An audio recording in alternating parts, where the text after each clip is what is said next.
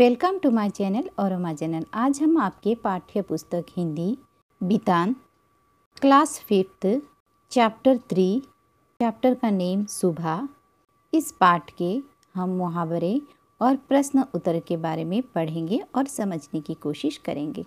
तो चलिए शुरुआत करते हैं पहले मुहावरों से। आँखों का तारा होना, बहुत प्यारा होना। हाथ बटाना, काम में मदद करना। पीठ थपथपाना शाबाशी देना। तो चलिए अब शुरुआत करते हैं मौखिक से। इन प्रश्नों के उत्तर दे। क, रेशमा को घर की सफ़ाई में नहीं लगाया गया। उत्तर, रेशमा को घर की सफ़ाई में नहीं लगाया गया क्योंकि पोलियो के कारण उसकी दोनों टांगें बेजान हो गई थी। ख, रेशमा ने गोलू को क्यों धक्का मारा? उत्तर, रेशमा ने गोलू को जलते हुए पटाखों से बचाने के लिए धक्का मारा। ग माँ रेशमा के गिरने से डर क्यों गई? उत्तर, माँ रेशमा के गिरने से डर गई कि कहीं उसे चोट ना लग गई हो। चलिए अब लिखित देखते हैं पाठ से।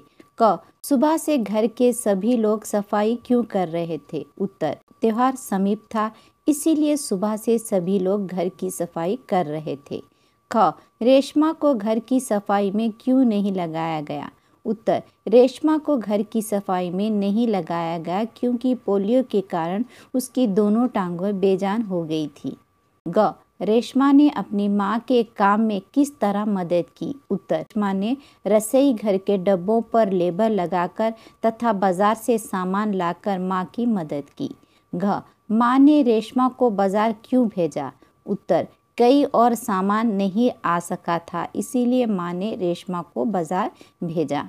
घ रेशमा ने गोलू को धक्का क्यों मारा? उत्तर रेशमा ने गोलू को जलते हुए पटाखों से बचाने के लिए धक्का मारा। दूसरा, वाक्यों की सही अर्थ पर राइट का निशान लगाओ। क, दिवाली अंधेरे पर उजाले की जीत का त्योहार है। सही उत्तर है, सच्चाई की हमेशा जीत होती है। ख, उसकी हर सुबह एक नई सुबह होती है। सही उत्तर है, उसके जीवन में हर रोज़ कोई ना कोई नई घटना घटती है। तो चलिए अब देखते हैं पाठ से आगे, यानी पाठ के बहाने। क, दिवाली का त्यौहार राम के अयोध्या लौटने की खुशी में मनाया जाता है। पता करके लिखो कि यह त्यौहार कब और क्यों मनाया जाता है। चलिए, त्यौहार कब और क्यों? पहले होली, मार्च, नई फ़सल आने की खुशी में। क्रिसमस 25 दिसंबर, ईसा मसीह का जन्मदिन। ईद, मार्च हज़रत मोहम्मद का जन्मदिन, बैसाखी 13 अप्रैल, नए अनाज की खुशी में। पोंगल 14 अप्रैल, नए वर्ष की शुरुआत। ख, रेशमा के दोनों पैर घुटनों से नीचे बेजान थे। उसे कौन कौन से काम करने में परेशानी होती होगी? इन व्यक्तियों की परेशानी के बारे में अनुमान लगाओ। मैंने एक चार्ट बनाया है, इसे आप देख लीजिएगा। देखिए, इस तरह से हमने चार्ट दिया है। तो उसी के हिसाब से हम करेंगे। अंक, व्यक्तिगत काम में परेशानी। पहला, जो देख नहीं सकता। आने जाने में परेशानी, चीज़ों को देख ना सकना, पढ़ने में बाधा। दूसरा, जो बोल नहीं सकते। अपनी बात समझने में परेशानी। तीसरा, जो सुन नहीं सकते। दूसरों की बात समझने में तथा सुनने में परेशानी। चौथा जो बोल सुन नहीं सकते। भाषा सीखने में बात को समझाने समझने में परेशानी। ग यदि आपके कक्षा में रेशमा की तरह कोई बच्चा दाखिल हो तो आप पहला किन किन बातों का ध्यान रखोगे? उत्तर उसकी बैठने की जगह को आरामदायक बनाएँगे।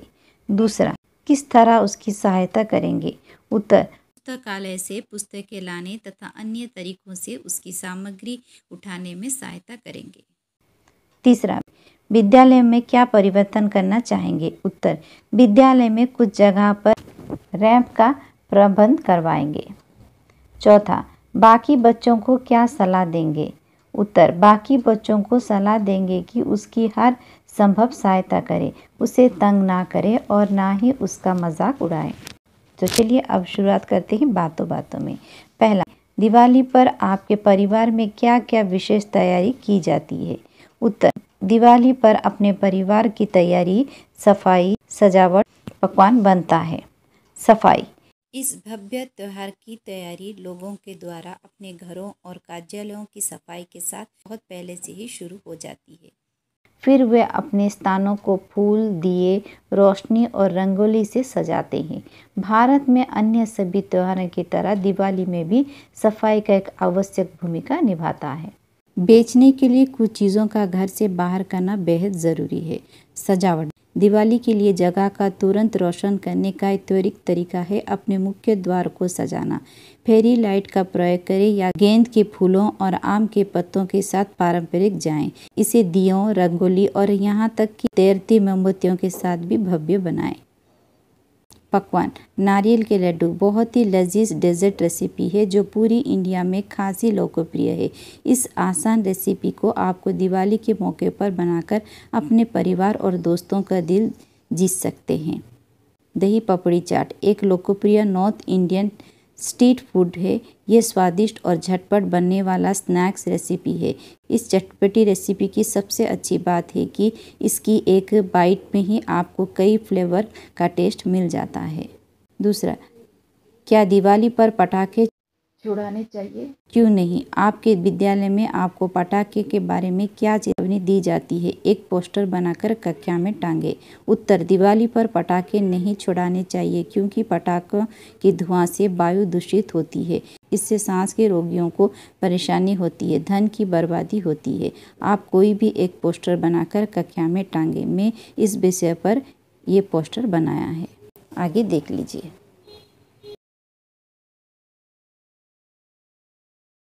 तो चलिए शुरुआत करते हैं तीसरा। किसी ऐसी घटना का वर्णन करो जब आपको किसी ने बचाया हो या आपने किसी की सहायता की हो। बच्चे किसी खतरे से बचने बचाने का अनुभव संक्षिप्त में लिखिए। उत्तर हाँ मैंने एक अनाथ बच्चों की मदद की। उसके पालन पोषण में मदद की है। गरीब के कारण वे विद्यालय नहीं जा सकता था।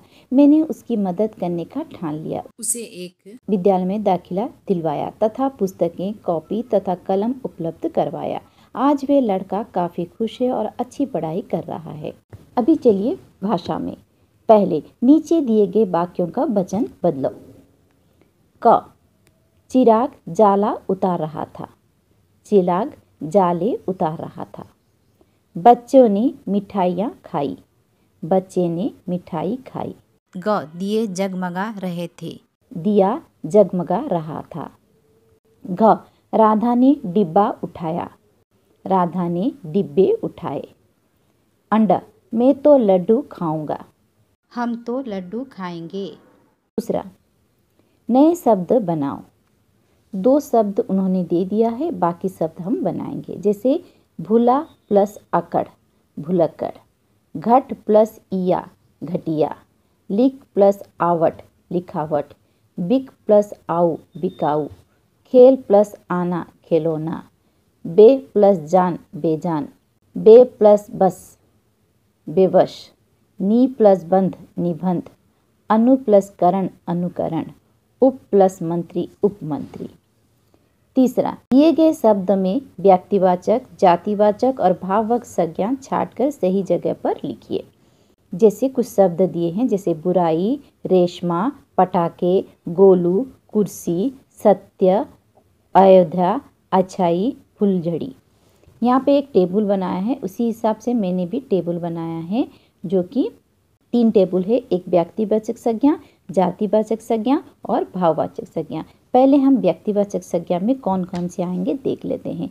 व्यक्तिवाचक संज्ञा में रेशमा, अयोध्या, ईद, बिहू, फुलझड़ी, अनार। जातिवाचक संज्ञा में आएँगे पटाखे, दिए। भाववाचक संज्ञा में आएँगे अच्छाई, सत्य, कमी, इरादे। तो चलिए अब देखते हैं फोर्थ नंबर। नीचे दिए गए भाववचक संज्ञा से विश्लेषण बनाकर लिखिए। बुराई, बुरा, परिश्रम, परिश्रमी, अच्छाई अच्छा उत्सुकता, उत्सुक। पांचवा, दिए गए शब्दों की तरह तीन तीन शब्द लिखे ये रॉ की और ये उसके मात्रा हैं और ये इसके किस तरह से रॉ को हम दूसरे अंदाज से भी प्रस्तुत कर सकते हैं? तो पहले रॉ का देख लेते हैं। कुर्सी, बर्तन, सागर, भारत, रेशमा। दूसरे र का। वर्षा, आशीर्वाद, सूर्य, फुर्ती, निर्भर। इस तरह से भी हम रॉ का इस्तेमाल कर सकते हैं। तीसरा, प्रकाश, ग्राम, समुद्र, प्रसन्न, उम्र। ट्रक, राष्ट्रीय। Drama, driver, train. इस तरह से हम रॉ का भी अलग रूप से इस्तेमाल कर सकते हैं। छठा, सही मुहावरे से खालिस्तान भरो। पहले कौन कौन सा मुहावरे दी है देख लेते हैं। पीठ थपथपाई, आँखों का तारा, छक्के छुड़ाना, कान खड़े होना, घी के दिए जलाना, नौ दो ग्यारह होना, कान पकाना। क सरसराट की आवाज़ सुनते ही राखी के कान खड़े हो गए। ख मोनिका ने अपने माता पिता की आँखों का तारा है।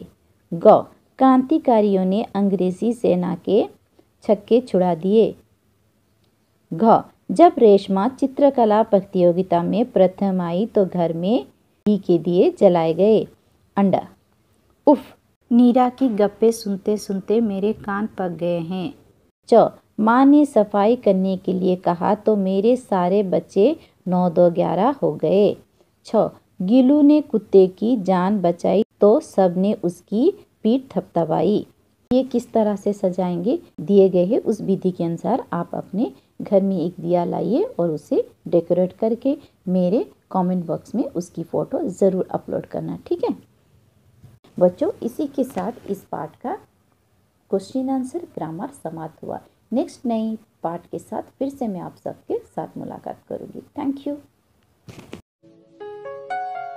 subscribe to my channel.